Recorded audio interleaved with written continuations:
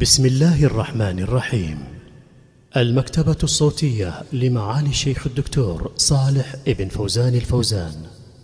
حلقات من أحكام القرآن الكريم للشيخ صالح ابن فوزان الفوزان. تفسير سورة النساء. الدرس الرابع والأربعون.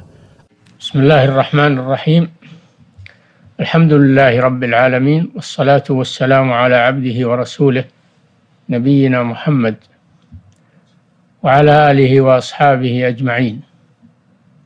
نستكمل الآيات أو الكلام على الآيات من قوله تعالى لا يحب الله الجهر بالسوء وقد تكلمنا على الآية الأولى.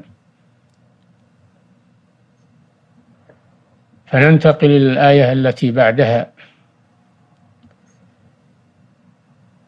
إن تبدوا خيرا أو تخفوه أو تعفو عن سوء فإن الله كان عفوا قديرا. في هذه الآية يبين الله سبحانه وتعالى ما يصدر من عباده من أفعال الخير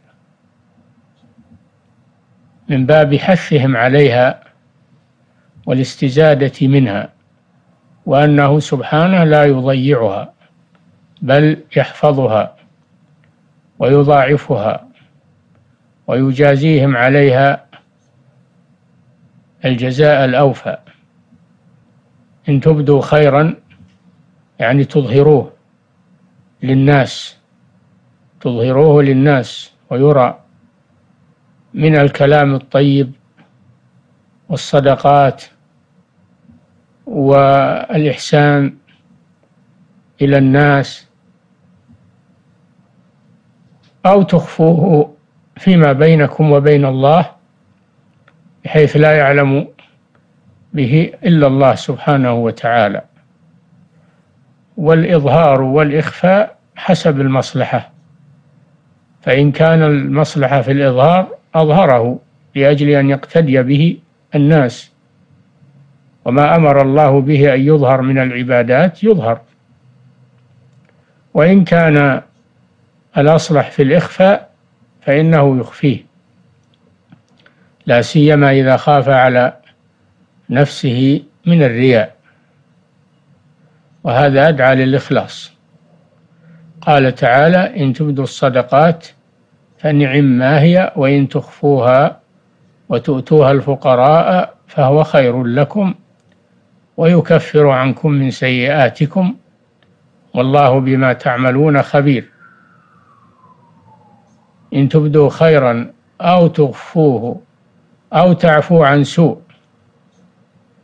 لما ذكر في الآية السابقة أنه لا يجوز الجهر بالسوء إلا لمن ظلم فإنه يجهر بالشكاية لمن ظلمه وكذلك يقتص منه بالكلام السيء بقدر مظلمته. وفي هذه الآية يرغب الله في العفو أو تعفو عن سوء.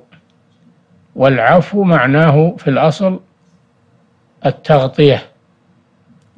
يقال عفت الرياح آثار الديار إذا غطتها وعفت الرياح الأثر إذا أذهبته. والمراد به هنا مسامحة المسيء. مسامحة المسيء عن إساءته تقربا إلى الله جل وعلا. فالله وإن أباح القصاص فإنه يرغب في العفو. فإذا عفوت عمن ظلمك عوضك الله خيرا مما مما أصابك أو خيرا مما تحصل عليه من الانتقام والتشفي. والله سبحانه وتعالى قال ولا تستوي الحسنة ولا السيئة ادفع بالتي هي أحسن فإذا الذي بينك وبينه عداوة كأنه ولي حميم. وما يلقاها إلا الذين صبروا. وما يلقاها إلا ذو حظ عظيم. وإما ينزغنك من الشيطان نزغ. فاستعذ بالله إنه هو السميع العليم. كل هذا ترغيب في العفو. والله جعل من جملة الأعمال التي تؤهل المسلم لدخول الجنة العافين عن الناس والعافين عن الناس.